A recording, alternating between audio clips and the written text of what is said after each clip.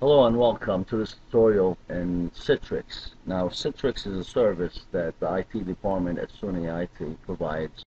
What Citrix is, it's a software that allows you to download a temporary version of software that you don't have on your computer and this way you could use the software in the convenience of your own home.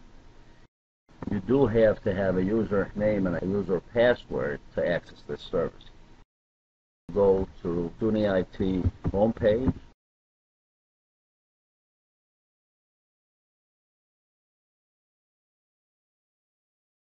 Click on current students under student services. Click on IT services.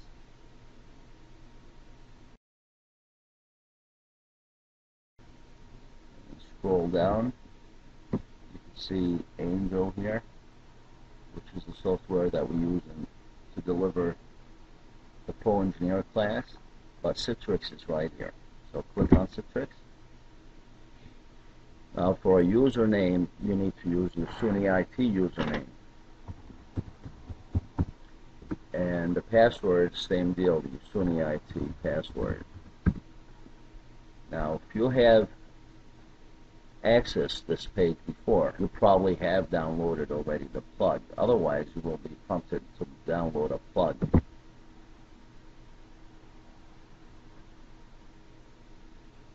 Okay, well, on this computer I didn't download it, so click on download.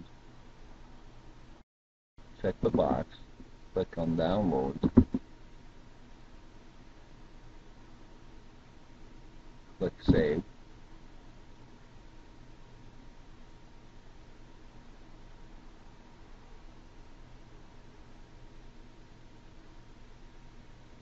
This usually takes up to maybe two or three minutes to download. the But once it's downloaded, you're ready to go and you never have to download it again.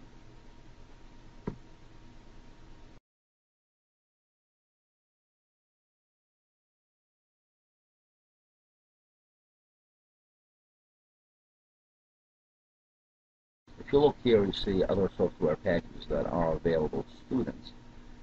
For our intents and purposes, click on Engineering.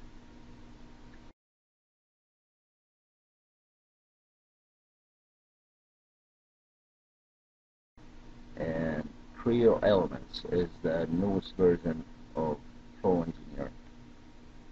Click on that. This would allow you to download a temporary version of the software on your computer so you could so you could use it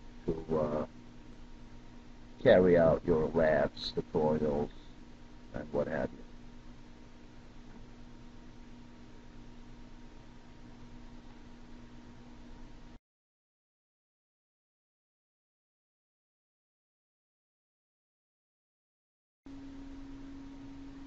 Click Permit Use.